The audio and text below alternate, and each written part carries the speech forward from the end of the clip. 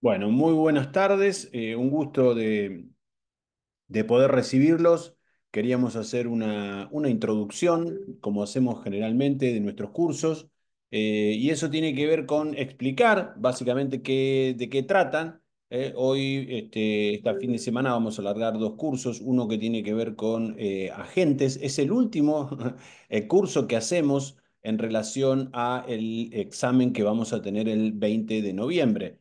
¿Eh? Entonces es un curso que eh, vamos a combinar la parte teórica con la parte práctica. ¿eh? Nosotros acá tenemos este, la posibilidad, gracias a toda la gente que nos ha ayudado, a recolectar todas las preguntas que hubo en mayo del 24. Y entonces esa es una manera que tenemos también de aprender, ¿no?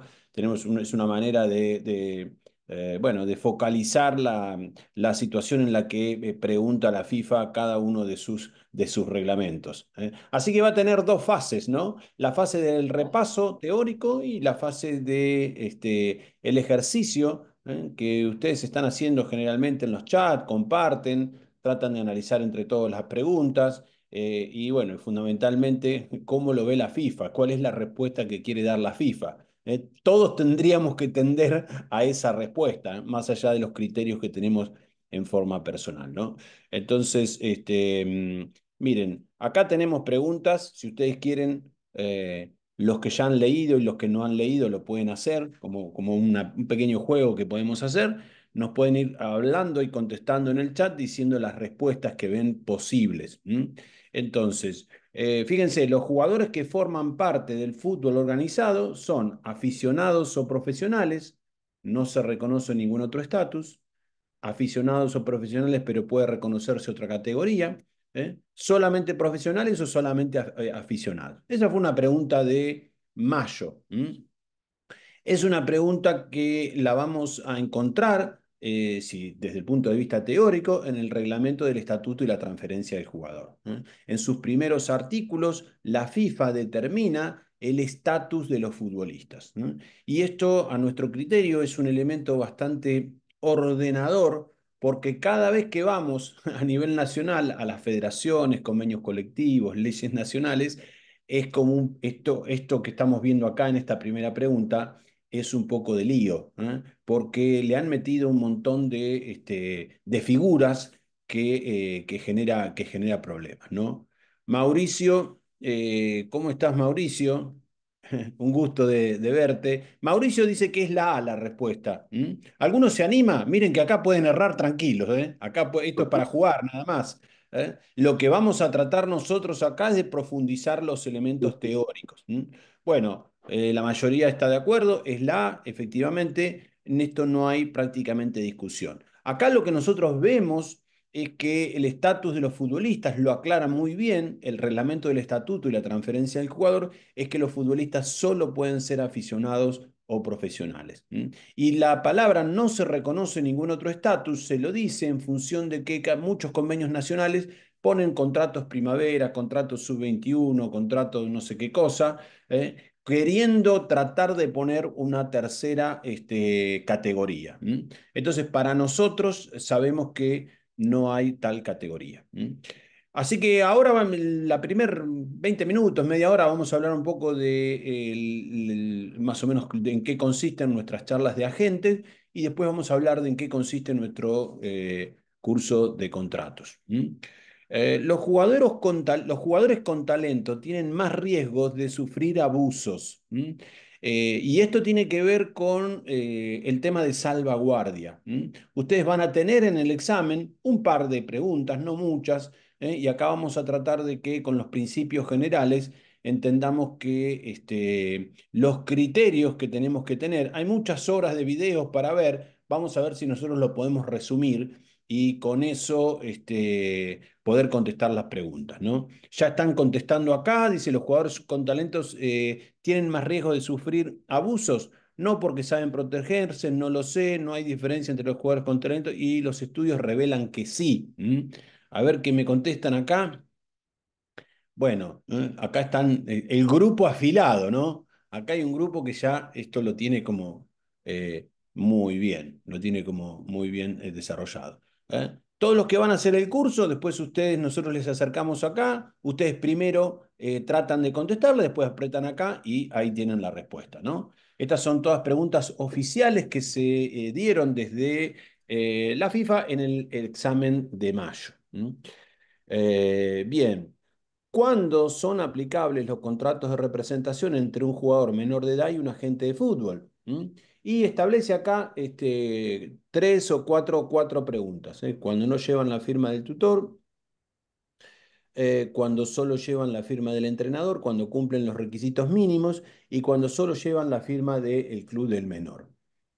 Vamos a ver qué nos dicen acá. Y este, acá están todos con la C.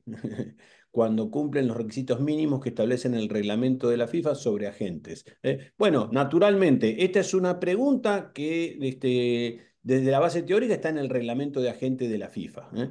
Y em, como les decía recién, el reglamento de agente es uno de los reglamentos más importantes. Les recuerdo que nosotros tenemos un método de estudio. Es un método se puede compartir o no, pero nosotros lo hemos visto en función de este, la cantidad de preguntas que tiene cada reglamento. ¿eh? Entonces, arrancamos generalmente, por ahí hacemos una pequeña introducción con el estatuto, ¿no? Em, hacemos una, una, pequeña introducción con el estatuto y después, este, básicamente, lo que hacemos es hablar del reglamento de agente, que tiene muchas preguntas, sin embargo, les voy a aclarar cuáles son los artículos que están suspendidos y cuáles no. Así directamente le damos una pequeña mirada, pero seguimos de largo. ¿eh? Y después vemos el reglamento del estatuto y la transferencia del jugador. el reglamento del estatuto se ha tornado casi, diríamos, el más importante en cantidad de preguntas, en función de que el reglamento de agente este, tiene algunos artículos que eh, no se van a aplicar. No te los toman los, los, artículos suspendidos. Nosotros, como siempre, nos queremos curar en salud. Eh, igual los leemos, los tratamos de interpretar, no le damos tanta importancia, pero igual. Entonces, básicamente están a un mismo nivel esos dos reglamentos. Después viene el reglamento de la Cámara de Compensación, que la FIFA le está dando bastante importancia en función de que es un instrumento nuevo. Recuerden que tiene, tiene apenas un año y medio de, de funcionamiento esa Cámara. ¿eh? Recuerden que está pagando formación y solidaridad, está en funcionamiento a partir de noviembre del 22. Y ahí hay dos o tres instrumentos que para nosotros son fundamentales, eh, como es el pasaporte electrónico. Descubrir qué significa, cuál es la funcionalidad, em, descubrir qué información tiene, cuáles son los requisitos y las características, nos va a ayudar a contestar muchas preguntas. Eh, el pasaporte se puede estudiar, en, digamos, en, dos o tres lugares distintos. ¿eh? El RTJ tiene información, pero la Cámara de Compensación lo que tiene es eh, el procedimiento desde el origen, desde la hora cero, desde que nace un pasaporte electrónico hasta que la FIFA finalmente, a través de la Secretaría General, emite un documento oficial que este, es una guía, es un GPS eh, muy importante para pagar dos institutos que son Formación y Solidaridad, que acá naturalmente le damos mucha importancia porque en todos los exámenes, en todos los exámenes eh, hemos tenido preguntas de formación y solidaridad. Hoy veía en el chat este, algunas preguntas que hacían de, formación y bueno, naturalmente que em, em, siempre esas preguntas suelen estar, ¿no? Eh, bien, entonces acá tenemos la C. ¿Sí? Eh, buenas tardes. ¿Qué tal? Néstor habla. Mucho gusto acá en el grupo. El segundo curso que voy haciendo con, Derecho del Fútbol. ¿Te puedo hacer una, consultita breve? Que justo habló del tema de que se habló en el grupo. Sí. un, un, colega, ¿no? un compañero del grupo, eh, mandó una, una pregunta que decía, la resumo más o menos, si el Barcelona eh, contrata a un jugador a los 18, 18, años que se formó dos años en, San Lorenzo y, seis meses en otro club, ¿no? Pero el Barcelona lo lleva a una filial de tercera división. El derecho de formación se paga eh, como si fuera el Barcelona o por, o por la categoría tercera. Es algo que me dejó en duda, ¿vio?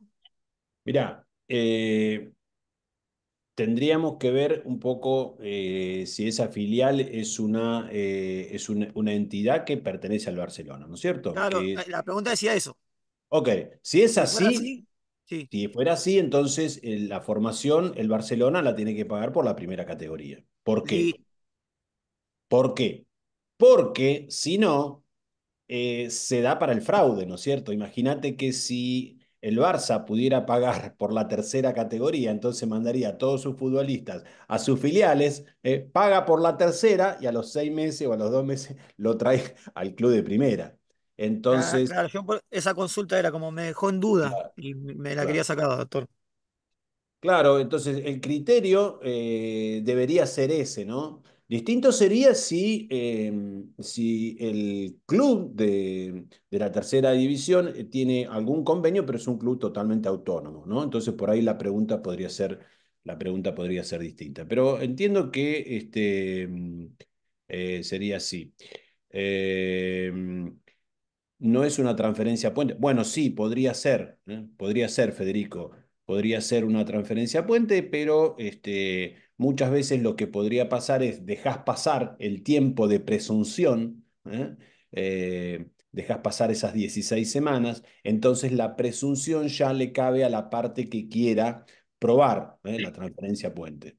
Entonces, de esa manera, podrías Em, intentar generar eh, un fraude, ¿no?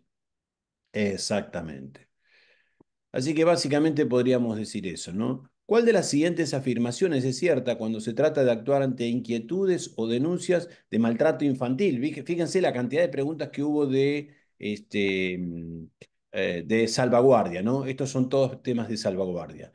Em, bueno, ¿cuál es, de las siguientes afirmaciones es cierta cuando se trata de actuar ante inquietudes o denuncias? Hay varias opciones, pero es difícil decidir. La inacción es siempre una opción. Todas las afirmaciones son correctas. La inacción no es una opción. Eh, y acá dicen, eh, bueno, acá creo que están, uh, están poniendo este, otra pregunta, que después la podríamos analizar. Eh, la manda Olga, y de respecto de salvaguardia están diciendo que, que es la D, es la pregunta D. Ok, vamos a corroborar, que es lo bueno que tenemos acá, eh, que es la, la chance de abrir y, contestar. ¿no? ¿Es obligatorio que un cliente solicite asesoramiento jurídico independiente antes de firmar un contrato de representación para que éste tenga validez? Esta es una pregunta que es un poco este, mm, tramposa, si se quiere, ¿no? Porque dice, es obligatorio que un, cliente solicite asesoramiento, a ver qué, a ver si caen en la trampa o no. Eh, y supongo que no, porque todos, este, bueno, a mí solo me pareció.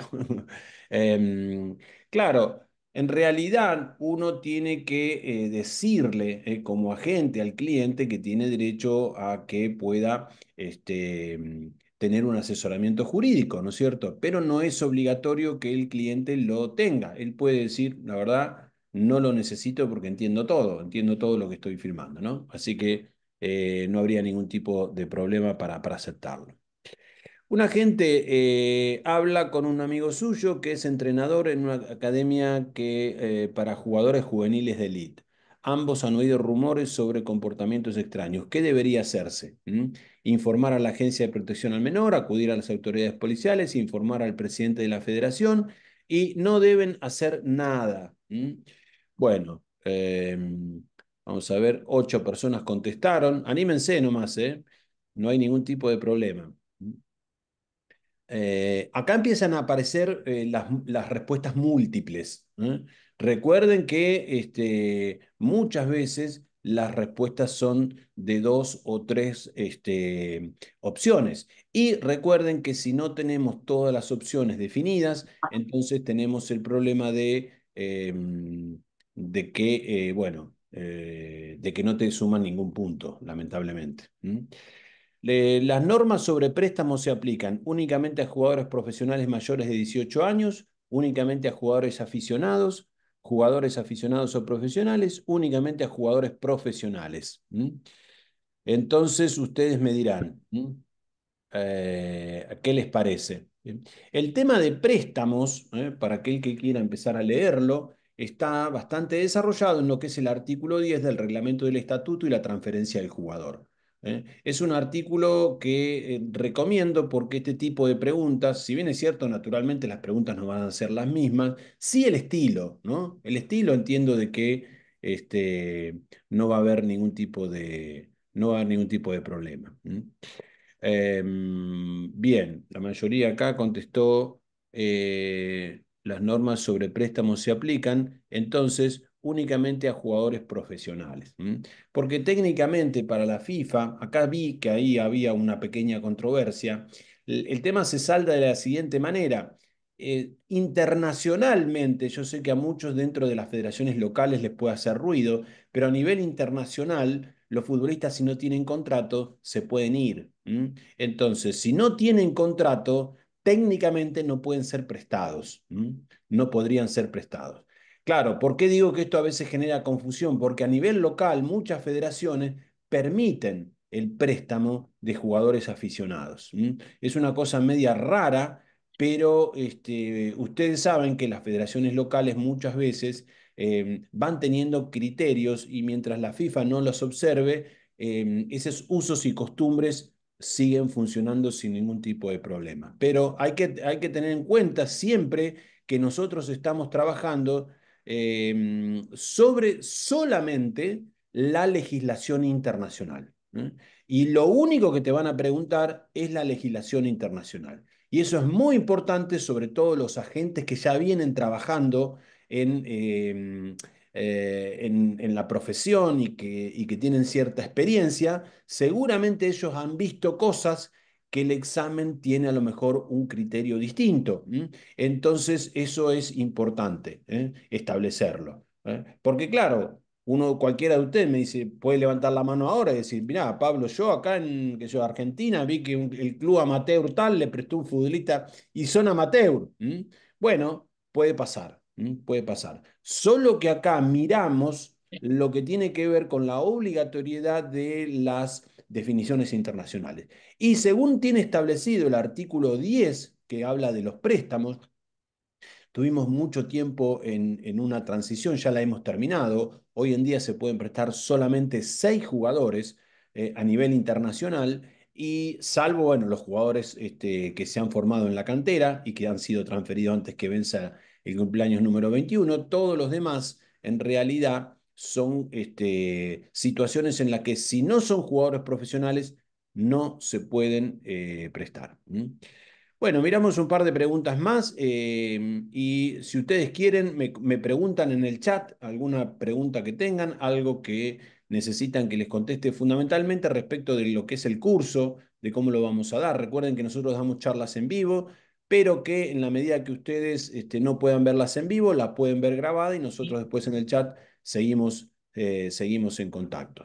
¿eh? y vamos a dar este, prácticamente hasta un día antes, creo, del examen, cosa de que todo lo que vaya surgiendo, toda la información que vaya entregando FIFA, las modificaciones que se esperan, entiendo yo de que los artículos suspendidos no se van a levantar, salvo que haya una definición de la Corte Europea que a esta altura del campeonato no lo veo posible en 20 días.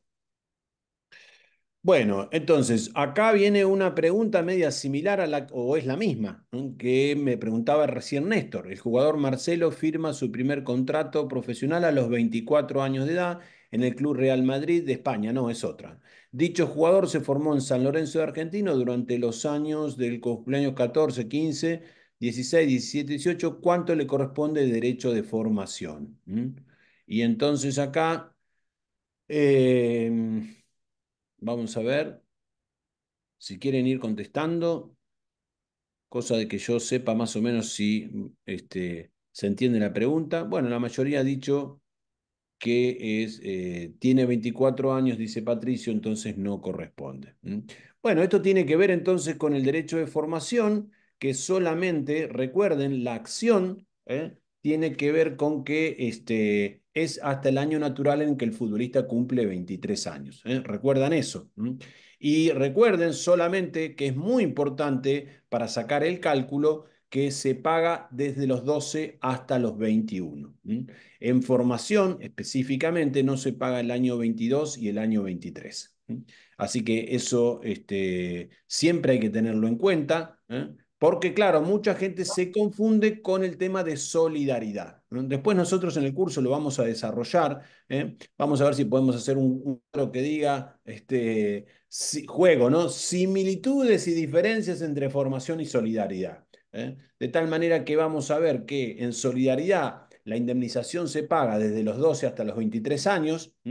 El cálculo, ¿no es cierto? El monto, ¿eh? este, lo que se paga va desde los 12 a 23 años, en cambio en formación el cálculo, el monto, lo que se paga va desde los 12 a los 21, pero la acción se sigue teniendo hasta el año natural en el que el futbolista cumple 23 años. ¿no? Ese es un tema que nosotros vamos a desarrollar, como habrán visto, se ha preguntado en todos los exámenes, no solamente en el de mayo, y recién Néstor tiraba otra pregunta que no sé si, si era de eh, FIFA no era de FIFA, pero bueno, este, a mi criterio la pregunta que dijo Néstor no creo que sea una pregunta de FIFA, eh, les soy totalmente sincero, a lo mejor me equivoco, ¿eh?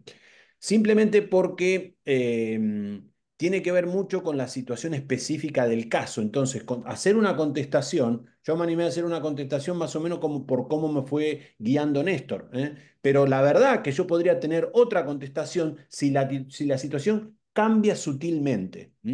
Eh, por ejemplo, eh, la persona jurídica ¿eh? en la que se este, inscribe finalmente el futbolista es totalmente independiente y autónoma. Entonces, es una pregunta bastante, bastante, bueno, digamos, para confundir. Bueno, entonces, con esto, sí. Pablo, una consulta. Mira, para el examen, para el examen que se va a rendir ahora en noviembre, eh, hablábamos de que se puede ver en, el PDF, ¿no? Que mandó la, que mandó FIFA.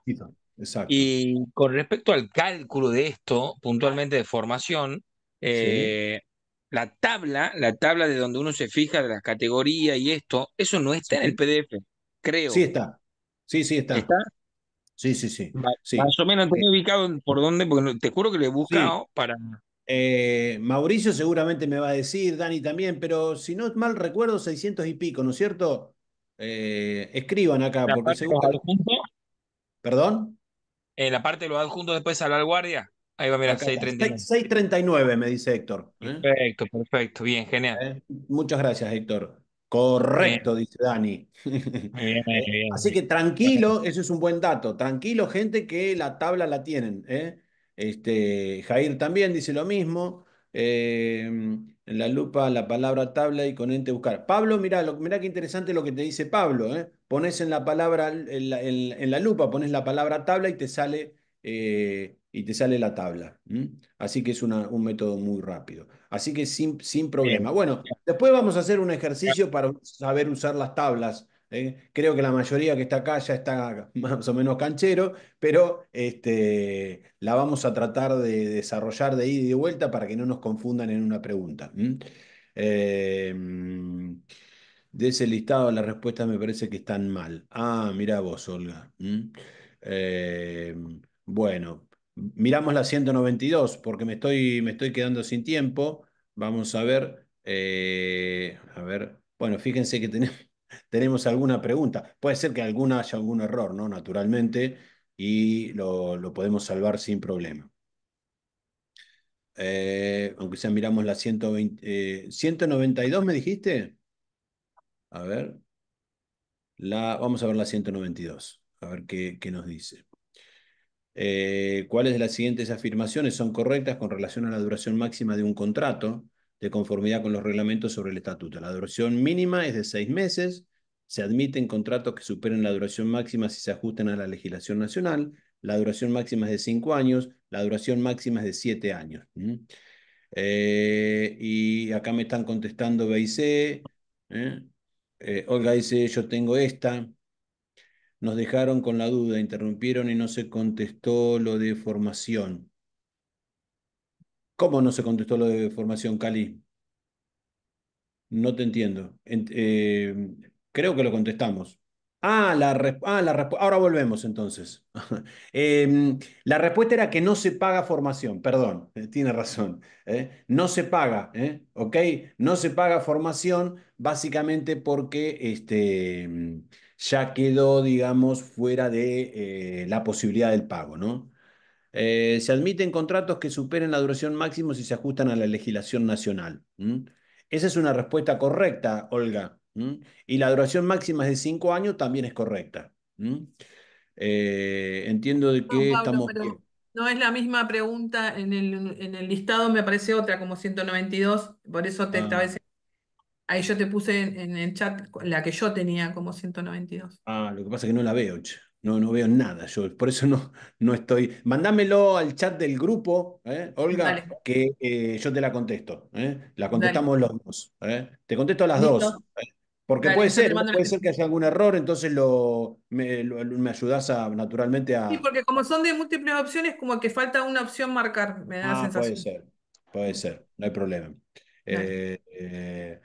Eh, no, en realidad, Franco, este es un listado que les vamos a otorgar a la gente que tiene el curso, que, que se queda con nosotros. Y lo que vamos a ir haciendo en el curso es Ah, miren, lo que hacemos nosotros en el curso es lo siguiente. Esto se maneja de la siguiente manera. Es un, trabajo que ha hecho Dani, así que los podría explicar mejor el que yo.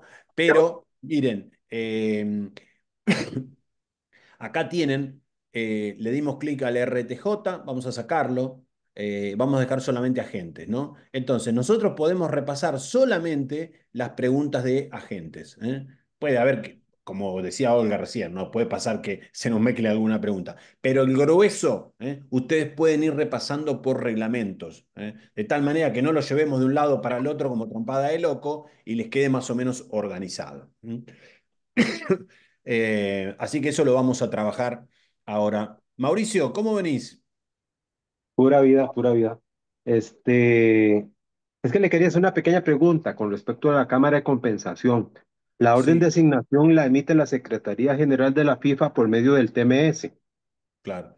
Eh, ese documento solo se lo envían a la Cámara de Compensación, solamente. Sí. Ok. Sí, sí, sí. Es que había una eh, pregunta que decía si a formadores y a, a, clubes deudores. Eh, la orden de asignación se la mandan a la Cámara de Compensación y la Cámara de Compensación hace otro documento que le mandan a los clubes. Ok. Eh, sí, después lo vamos a ver con, con más pero, pero sí. Sí, el tema de la cámara de compensación, eh, mm, miren, vamos a sacar todas y miramos cámara de compensación. Y entonces, miren, miren todas las preguntas que hay de cámara de compensación. Así que es un documento que hay, hubo 11 preguntas de, cámara de compensación. Es un documento que, esto, esto después ustedes lo pueden utilizar sabiendo ver, miren, ahora en procedimientos preguntaron eh, miren todas las preguntas que hubo de procedimiento. 20 preguntas.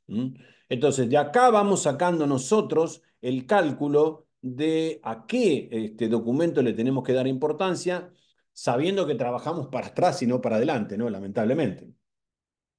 Em, eh, o sea podemos ver la, pregunta que puse más arriba de una que, que copié hace un rato, eh, que dice que Michael es agente de fútbol con licencia FIFA y después te preguntan qué licencia necesita Michael para presentar a, Lucas, que es un italiano, y te da varias opciones y ya te dice que tiene licencia, pero sin embargo cuando te da la respuesta correcta, te dice que únicamente la respuesta correcta es que tenga eh, la licencia de agente FIFA, que ya dice que la tiene. Entonces yo había marcado como que necesitaba la licencia italiana eh, de agente de fútbol y me la marcó como errónea. Entonces, claro, eh, Sí, sí, sí. Lo que pasa, Olga, es que lamentablemente muchas veces son preguntas de interpretación, preguntas en las que la traducción no es eh, la correcta, porque estas, generalmente estas preguntas están hechas en, inglés, entonces la pregunta para nosotros tiene un sentido y la respuesta de FIFA es otra, como la, que estás diciendo vos. Así que lamentablemente esa dificultad la tenemos. Creo yo que se ha ido purificando y de a poco cada vez más este, esto se va a ir corrigiendo, ¿no? Naturalmente.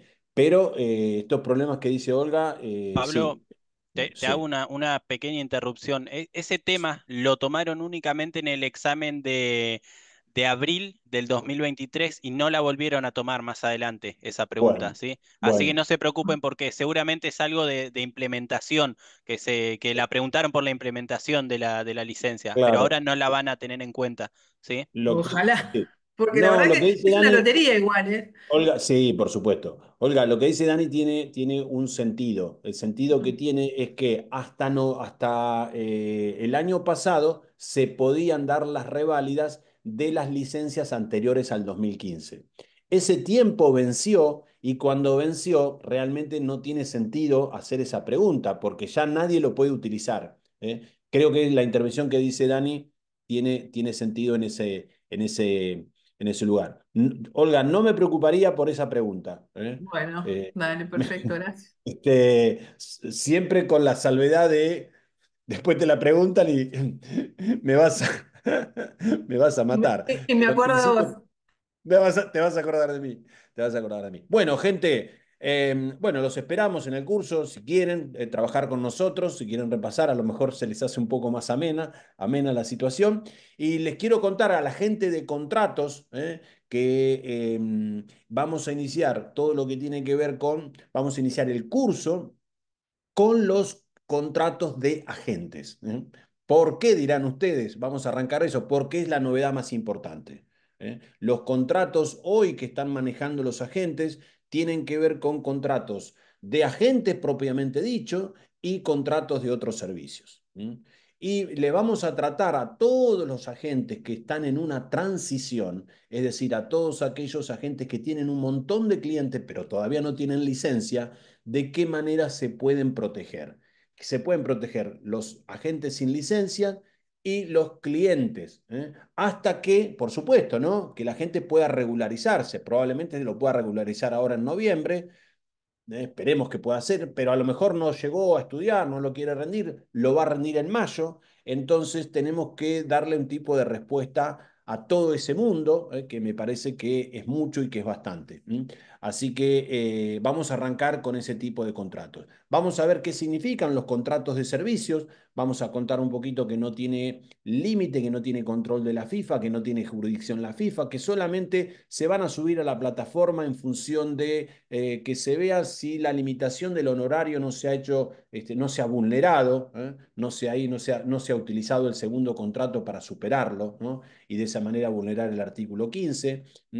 Pero en definitiva creo que son herramientas que son muy interesantes para que eh, ustedes puedan jugar con esta situación hoy en día, ¿no? Y contarles que la profesión de la gente a partir del nuevo reglamento es como que está como muy acotada y tiene mucha libertad eh, todo lo que tiene que ver con, por ejemplo, otros servicios. ¿eh? Imaginemos que llevamos un futbolista a Arabia, por decirte una cosa así, ¿no es cierto? Nosotros somos el agente de ese futbolista y digamos, la actividad de la gente tiene que ver con que le hemos encontrado un contrato a ese futbolista. Sin embargo, si yo me tomo un avión con él y trabajo, hago toda la logística, y cuando él se va a entrenar, le consigo la casa, le compro el auto o le alquilo el auto, eh, le, saco el seguro médico, le, anoto los chicos en la escuela, le hago toda la logística. Esos son servicios que se llaman otros servicios, pueden estar pactados en otros contratos y pueden estar sin límite alguno de contrato, obviamente siempre que no haya abuso, ¿no?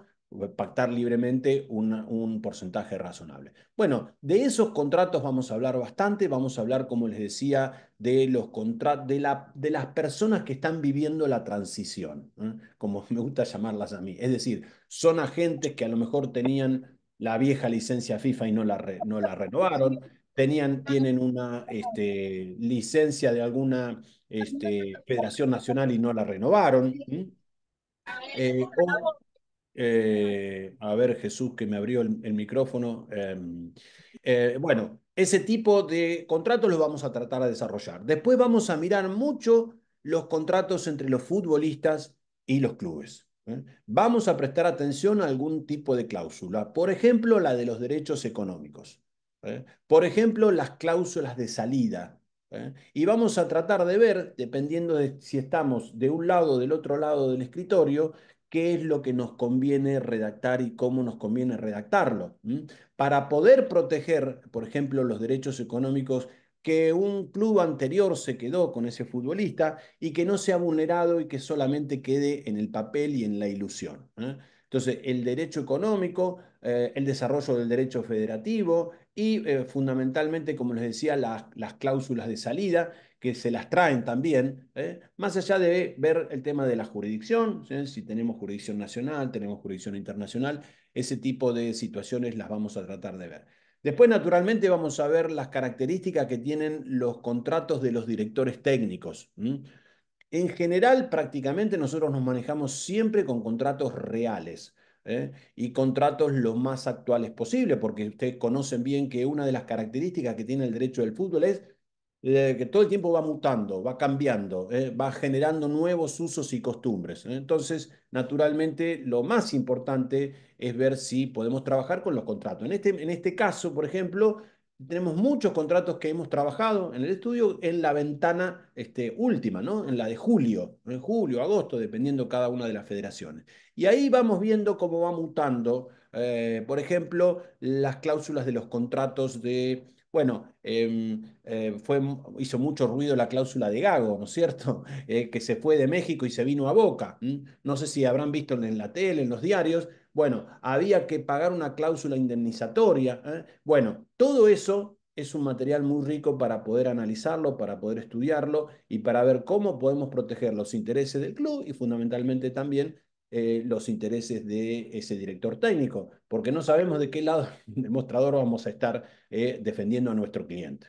Así que eso también. Luego vamos a ver las transferencias de los futbolistas. ¿eh? El futbolista que estaba en, este, estoy en Paraguay ahora porque estoy para participar en el Congreso de Conmebol. Entonces, le diría, el Club este, Nacional de Paraguay transfiere un futbolista a este, Arabia Saudita, y entonces ahí hay que hacer una transferencia internacional de ese futbolista. ¿eh? Y, ahí em, em, es un tema que em, se las trae, ¿no? ¿Qué cláusulas pueden proteger a esos futbolistas? ¿eh? Y vamos a ver los casos de una transferencia definitiva, onerosa, vamos a ver los casos de una transferencia eh, gratuita, vamos a ver una transferencia este, a préstamo, como recién veíamos, ¿eh? Eh, y el préstamo con opción de compra, con obligatoriedad de compra, es decir, hay muchísima cantidad de este, elementos que son importantes para ver.